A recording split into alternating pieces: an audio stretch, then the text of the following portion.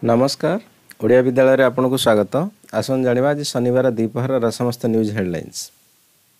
ପ୍ରଚଣ୍ଡ ଗ୍ରୀଷ୍ମରେ ସାରା ରାଜ୍ୟ ସିଝୁଛି ବିଶ୍ୱରେ ତୃତୀୟ ଉତ୍ତପ୍ତ ସହର ବାରିପଦା ଓଡ଼ିଶା।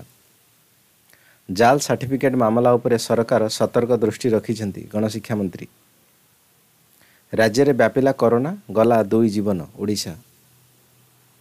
ହନୁମାନ ଜୟନ୍ତୀରେ ପୁଣି ହିଂସାକାଣ୍ଡ ଯୁବକଙ୍କୁ ହତ୍ୟା ପୋଡ଼ାଜଳା ସମ୍ବଲପୁର।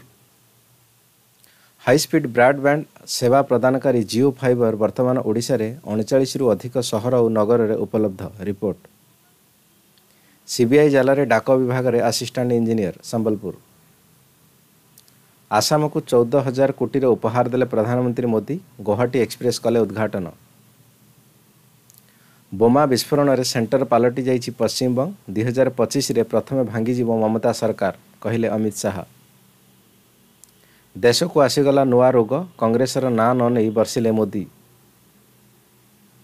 ଦିଲ୍ଲୀ ମୁଖ୍ୟମନ୍ତ୍ରୀ ଅରବିନ୍ଦ କେଜରିୱାଲଙ୍କୁ ପଚରାଉଚରା ପାଇଁ ସିବିଆଇ ନୋଟିସ୍ ଜାରି କରିଛି।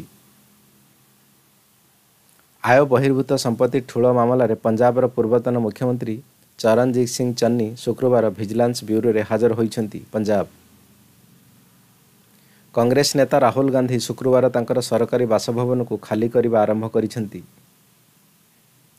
ନାଗାଲାଣ୍ଡରେ ସେନା ଯବାନଙ୍କ ବେପରୁଆ ଗୁଳିଚାଳନା ମାମଲା ମକାଦେବା ପାଇଁ ଅନୁମତି ଦେଲାନି କେନ୍ଦ୍ର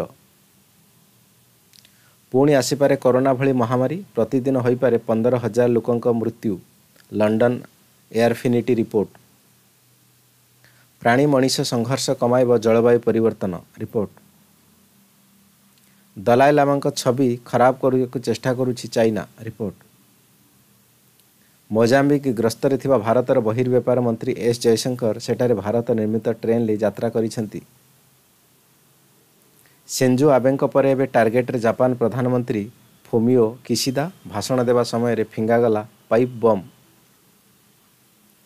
ହ୍ୟାରି ବୋକରଙ୍କ ଅପରାଜିତ ଶତକ ବଳରେ ସନରାଇଜର୍ସ ହାଇଦ୍ରାବାଦ ଶୁକ୍ରବାର ଅନୁଷ୍ଠିତ ଇଣ୍ଡିଆନ୍ ପ୍ରିମିୟମ୍ ଲିଗ୍ର ଉଣେଇଶତମ ମ୍ୟାଚ୍ରେ କୋଲକାତା ନାଇଟ୍ ରାଇଡର୍ସକୁ ତେଇଶ ରନ୍ରେ ପରାସ୍ତ କରିଛି।